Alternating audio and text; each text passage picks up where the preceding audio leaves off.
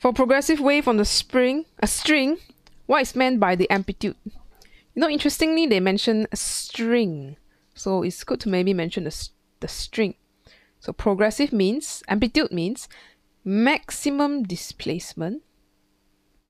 But to be safe, I'm going to add on a little bit of context of a particle on the string. So that's additional detail right there. So this one can give one mark lah. Okay, next part. Light from laser got wavelength. Calculate the period, which is t, of the light wave. For lambda, lambda, there's not many equations, so we only have v equals to f lambda. Or, since frequency is 1 over t, we can substitute that in and get v equals to lambda over t. Yes, this is light. Light is electromagnetic wave. So you have a speed of light. So we do know that the speed of light is 3 times 10 to the 8. If you don't memorize this, go check out the data formula sheet or check out your calculator how to how to press it. okay, so 690 must convert to aya, nanometers. 10 to negative 9 period. Okay, so we can put the period at the end here. This would give us a 2.3 times 10 negative 15. So we can write that 2.3 times 10 negative 15. Everything's in 2SF, right? Yeah, 2SF is safe. Okay, so this is A1. Mm, I guess we could count them separately, lah, okay? This one is one mark, this one is one mark. If you did everything in one step, like you just wrote this, that's two in one. You could call it that. Okay.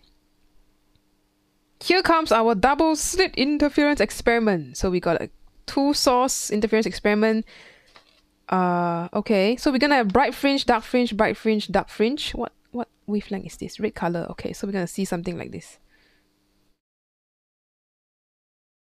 And light is shown, interference fringes are seen, blah blah blah blah. Here they're telling you what all these alphabets are: A, D, X, and things like that.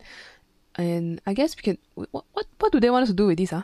Oh, got graph. Oh, it's an experiment. Okay.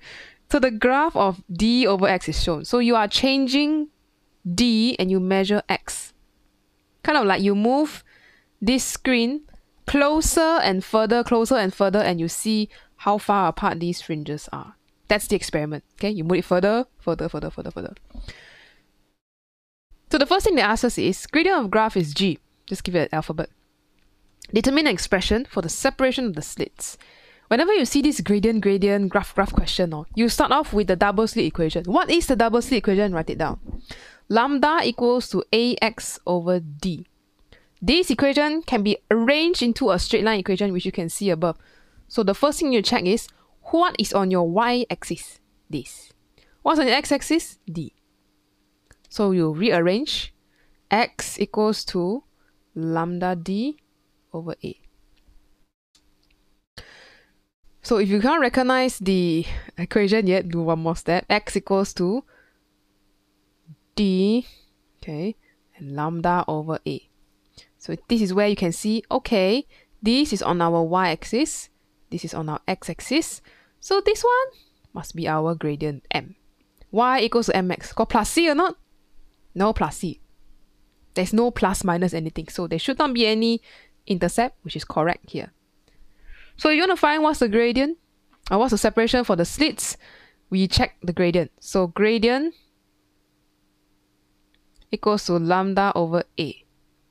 So A equals to lambda over gradient. So right here, lambda over G. This is one mark. The other mark, probably using this one. Lambda equals to AX over D. Okay. Next. Experiment is repeated with the slits of separation 2A. Wavelength of the light is unchanged. Sketch a graph to show the, the graph for the new experiment. Hmm. The slit separation increased to 2A. What does that affect? Look at our equation. It affects the gradient, you know. So I'm going to write some key points here. Since gra uh, gradient is lambda over a, you can kind of say gradient is proportional 1 over a. So your separation of slit is become 2a, 2 times. So this one, in proportion, will also change by that amount, half. So we need to draw half the gradient on our graph up there. How to draw half the gradient? Luckily, there is no intercept. We can just say, oh, this is the highest point. Okay lah, we half that and we draw a line.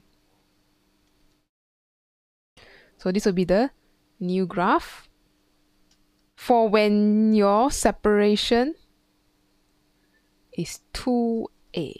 So kind of you draw like that one, there's one mark already lah.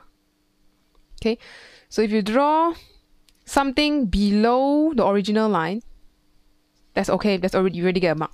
The second one is if you end at half of original endpoint.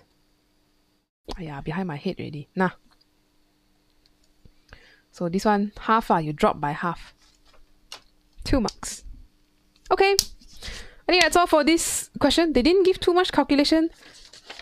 I'm very surprised they did not give any wave explanation. So, hmm, all right, never mind. That's all for this question.